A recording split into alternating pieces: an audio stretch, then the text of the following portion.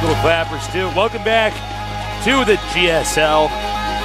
You're at gomtv.net. It's so good to have you back on that five minute break. We are seeing quite possibly uh, one of the most one sided games we'll see here in the round of eight. Or one sided series, I should say. But You Yeah, know, I, Nest I do want to point out the most one-sided series I think I may have ever seen. Remember Hongen versus MC last time they fought? yeah. You're like, yeah. A booger comes out of my nose and goes back in like a yo yo. Yeah. Yeah, I remember that. that we might see that again, too. Yeah, This might be a short day, Artosis. I think it's going. I to be might go outside after this and the sun is still up. And I'm like a nerd. I'm like, ah, the sun. I don't like that.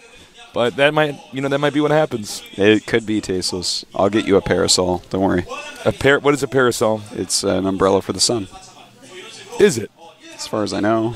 now I'm gonna, someone's gonna be like, "No, it's not." No, I'm pretty sure it is. parasol? All right, let's let's research it. Let us know. Is it a word? Tweet it at us. Tweet I'm it. Artosis. He's called me tasteless and gone. Parasol.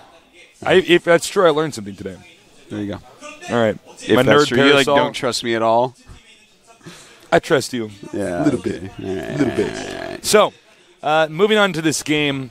This might be the last game if things go the way they are going for NesTea. Because even though, look, let's talk about the player psychology. Game one, he's completely duped. He like n- finds out in the last minute. He's like, "Oh my god, I should have known." Now I'm going to lose this first Yeah, game. I, yeah. I thought I was responding perfectly. I wasn't. I fell right into his plans. It was like, uh, you know, what my, Yeah, it, he M- was tricked, MJ man. Shyamalan. What's that director? It's like M. Night six, Shyamalan? M, M Night. Yeah, something like Yeah, that. You know what I'm talking about? Sixth Sense ending. Uh, what's the movie? Signs. One of those Yeah. endings. The Village. Then a game number two, The Village. Ugh, that was a bad movie. then, uh, I was really surprised then when there was like a road. I was like, the problem with this movie is like "No way!" I want the surprise to be that there is no surprise at the end because he keeps doing that in every movie, man. But um, so then in game number two,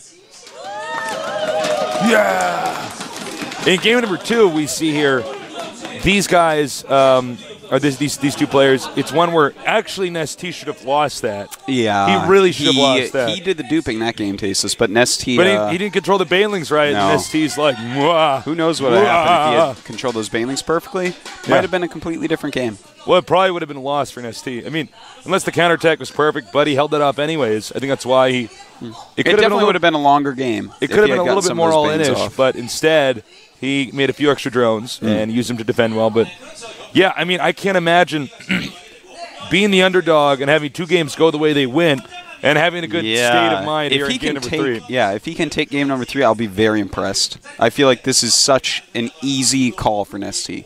Yeah, Coca has never won a ZVZ as far as I know. Uh, he's he's against NesTea. He's already up 2-0. This is the biggest stage Coca has ever been in, most important match of his life. But there he is, man. NesTea's smiling. He's like, hmm, I can hit the matinee. I will buy a golden wheel from my wheelbarrow that I used to push all my cash around. all right, we're going to the beach, Artosis. Belshir Beach. Belshir a Beach. beautiful map. I always get in a good mood when I'm casting it or watching it. Yeah, you 'Cause know, it- well, really, it's it's it's got beautiful white sand. You know, things like tile sets on maps affect me in different ways. I'm sure you can be in a good state of mind if you have the upper right starting location on dual sites. Yeah. It is hot. Exactly. It is nasty. You know, But now we're going to Bel- Belshir Beach, so uh, it should be pretty good. Countdown has begun, tasteless. it's time. Let's go on to game number three and see if Coca can engineer a comeback of the century. If NesTea is going to do what it looks like, I think we all think is going to happen. Win this game here in the GSL round of eight. Code S tournament.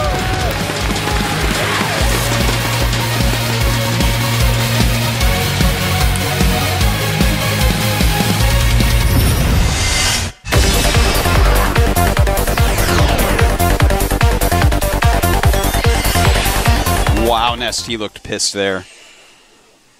Over here in the upper left, our player who's up two games and he's won two championships of previous GSLs. He may be going to the finals of this one too. I am Misty. There he is now. I'm under the impression that everybody in the studio right now, at least from the noise level, hmm. need to bring a seismograph to scale, you know, how many vibrations are in here. Everybody here is basically cheering for NesTea. Yeah, definitely. All right, now over here in the bottom right corner, our Zerg underdog, he is... Z Wait for it. ZeNEX Coca. Oh, and some people on Twitter asked me, "What? Who are these girls?" Those are five dolls. It's a K-pop group um, so please check their stuff out. Five dolls. Whoa, whoa! Stop that. Some sign fighting in the Sign audience. fighting. Things are getting out of control. Tasus might have to go over there take their ladder points. Stopped the nerd hooligans that show up to our games. Too excited. Don't have their sign priorities right. All right, so we do have a pool first build, or rather a gas in the pool by Coca. Just very standard timings on this game. NesTea goes for his hatchery first, and then his pool just slightly after. So he should be able to defend whatever does come out of this. But do know that it's a very wide open natural, and Speedlings can do a little bit of harassment in there. Yeah. So, you know, NesTea might want to be careful about how many drones he chooses to put out.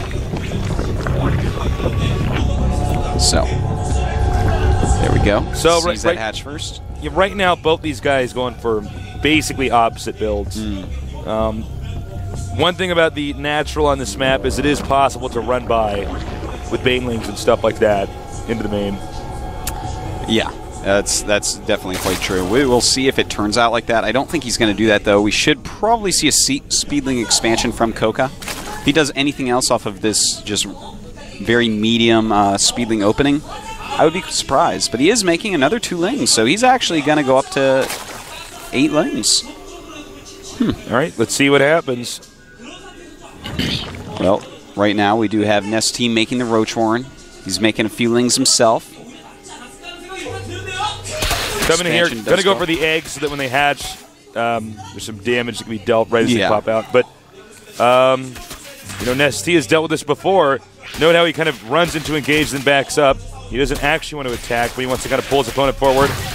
And NesTea's got to be careful here. Yeah, um, Coca with a funny amount actually, of lings. yeah, I think he's like, wait a minute, you're not supposed to keep doing this. You're supposed to turn around. Mm. And also, you know, normally you don't open with eight lings like this, so it's a, a little bit of a shocking thing for NesTea to see. He just got LZ gamered. He But, just uh, got LZ gamered.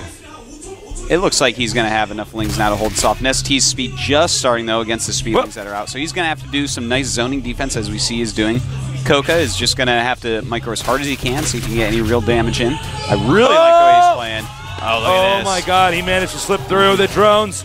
Uh, not well defended. But there are only five lings that did get through. The rest were trapped by NesTea. He might have actually now have these lings stuck inside of his base. You know, I think NesTea should have split up these lings that he has chasing them a little bit more. You know, start trying to zone them and catch them as they do try to run by. And it What looks is like that? He shouldn't even be attacking. Yeah, Coca probably should just get out of there, or just micro insanely until speed is out. See what he can see. He does see the Roach Warren, has his own Roach Well- finishing up during all this. Keeping his Zerglings running around like that at least, uh, you know, gives him some intel. Now here's the thing though, uh, NesTea is continuing to make Zerglings. We might have a big counterattack, and we Yeah. do. You're quite right, Tasis. Ten more lings on the way. Seven roaches on the way for Coca. But those aren't very quickly or No. very quick. I can't believe I just said that very quick at all. In fact, Coca's up three drones, but it's right now 26 lings to seven roaches. That is the unit count. So will NesTea have enough to do some real damage here?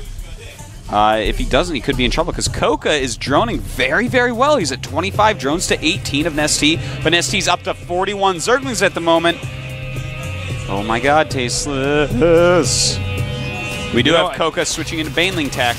Oh, And, oh, he might want to just run yeah, by. Yes, exactly. That's what indeed. you want to do. Run by, go to the drones. Oh my god, Oh nice hold my position God. there. Taking out a lot so of drones. So many drones have been killed just now. Quite true. And uh, at the natural nest, he is rallying in more and more and more and kill Getting off some roaches and lings and everything else. Looking very Look good for that. an ST. And look, here's the problem: is roaches actually aren't fast. So I mean, Yeah. if he doesn't want to engage him, he just like runs past them. And the Zerglings, while the other ones keep them busy, go into the main, take out the drones.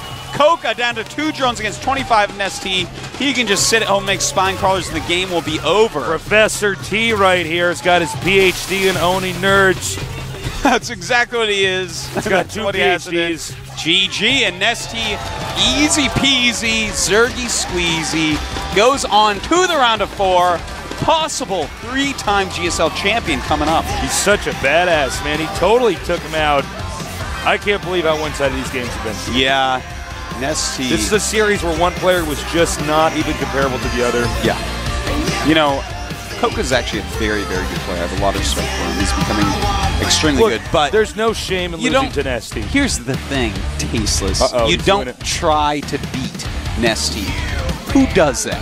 I do that. Well, that's. I don't mean silly. I'd lose, but that's what I do.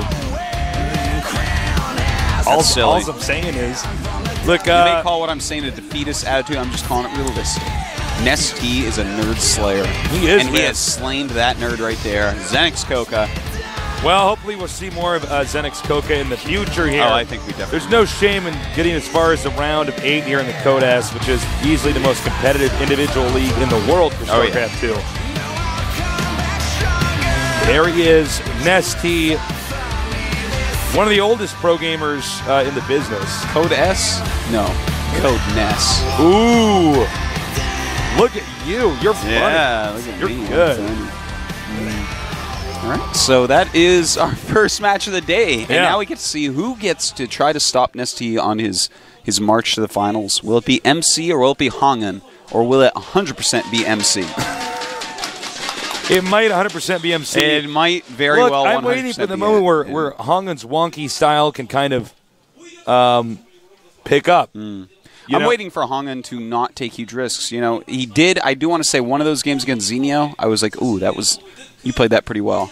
But then the other one was kind of a train wreck. And if you recall during the group stage, all Hongen did was take insane risks. Look, when you're against somebody like Hongen, generally people would advise you to just defend. Hmm.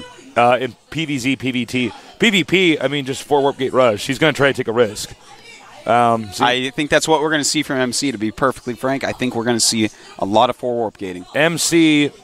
Uh, by the way, um, MC's English getting so good nowadays. It really is, man. yeah, Fucking General helping him out, flying Yeah. around the world like a nerd baller. meeting you guys. Yeah, You could, if you ever see him at an event, feel free to speak some English to him. Yeah, Just don't don't do. Some people are like, oh, he speaks English, and then they're like, blah, blah, blah, blah, they like talk too fast. You know what I'm talking about? Don't do that. Learn. I hate it when people do that to me. They're like, "Oh, our toast speaks English." And I'm like, They're blah, blah, blah, blah, blah, Uh. I don't understand. Well, sometimes people have done that to us, like in especially usually older people do that, but in, in Korean they speak too fast. Okay, I'm sorry. We actually have a five minute break. We'll be back with uh, the second half of uh, today's games: PvP, OGSMC against Hong and Prime Alcia in just a little bit.